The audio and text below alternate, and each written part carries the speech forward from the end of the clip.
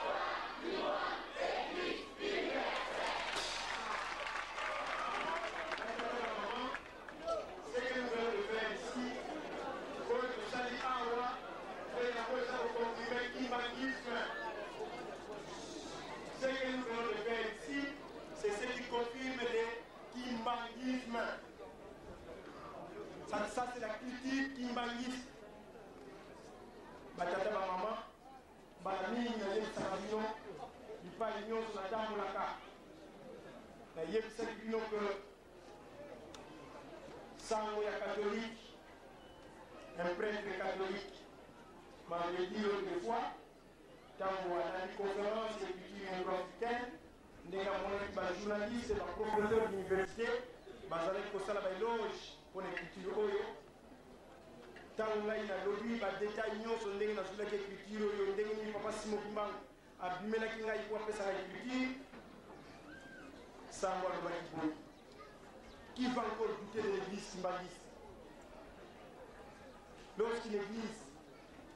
capte déjà des révélations et a dit à matérialiser ça pour apprendre ça à son peuple, c'est la preuve que c'est la vraie Église que Dieu a choisi pour conduire ses peuples.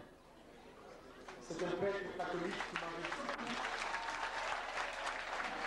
Tumwine mokili mobimba bakoya bakotanga bakosalela elakisi ke lingomba ya solo tata nzambe aponaki mpo na bato mwindu mpo balongwa na bowumbu batata bamama makambo ezali mingi mpo na koyebisa bino me ntango ekei pase tozali mpe na misala tokoki